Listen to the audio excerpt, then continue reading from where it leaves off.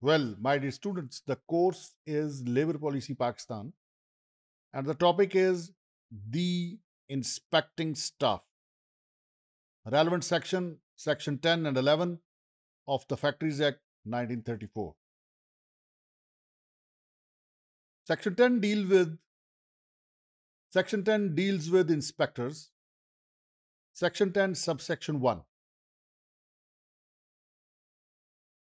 The provincial government may, by notification in the official gazette, appoint such persons as it thinks fit to be inspectors for the purposes of this act within such local limits as it may assign to them respectively. तो कौन inspector appoint कर सकता है इस law के जिमन में तो ये पावर जो है ये प्रोविंशियल गवर्नमेंट के पास है और जब भी प्रोविंशियल गवर्नमेंट किसी भी शख्स को इंस्पेक्टर अपॉइंट करेगी फैक्ट्रीज एक्ट के जिमन में तो उसका तकर्री का नोटिफिकेशन ऑफिशियल गैजेट में पब्लिश करेगी। Section ten, subsection two. The provincial government may by notification as the force said appoint any person to be a chief inspector. तो अगर बहुत सारे इंस्पेक्टर्स हैं, उनमें से कोई ना कोई एक चीफ इंस्पेक्टर होना चाहिए। तो चीफ इंस्पेक्टर भी गवर्नमेंट अपॉइंट करेगी। Who shall, in addition to the powers conferred on a chief inspector under this act, exercise the powers of an inspector throughout the province. तो चीफ इंस्पेक्टर के पास वो सारी पावर्स होंगी जो कि फैक्ट्रीज एक्ट उसे देता है और इसके अलावा वो सूबे का भी चीफ इंस्पेक्टर होगा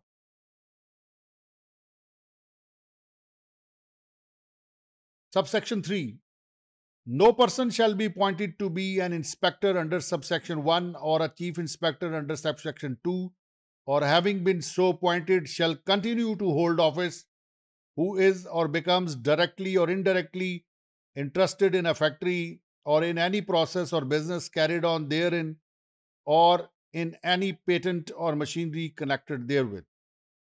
Subsection 4.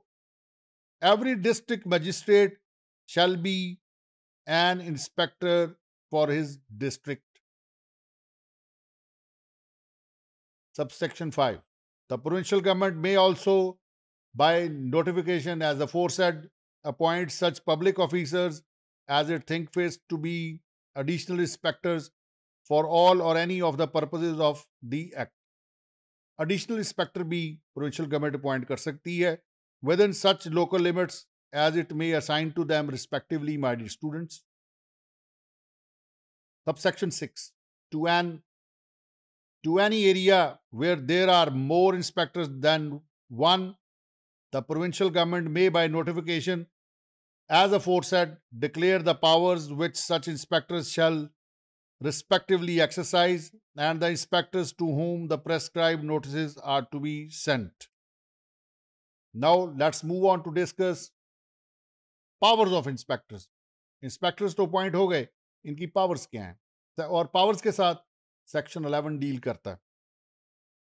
Subject to any rule made by the provincial government in this behalf यानी ताबे रहना है आपने उन रूल्स के जो कि प्रोविंशियल गवर्नमेंट इस जिमन में बनाती है। An inspector may within the local limit for which he is appointed enter with such assistance, if any being persons in the service of the state or of any municipal or other public authority as he thinks fit, any place,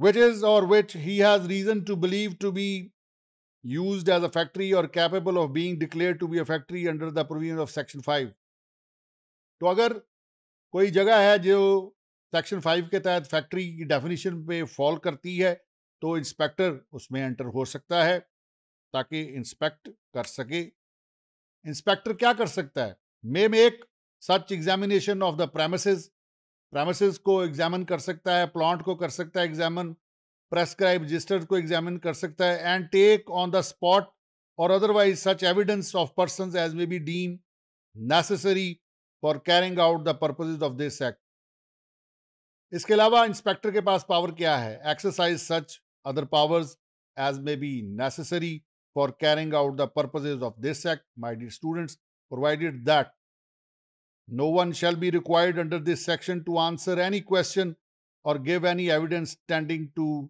criminate himself. For more powers,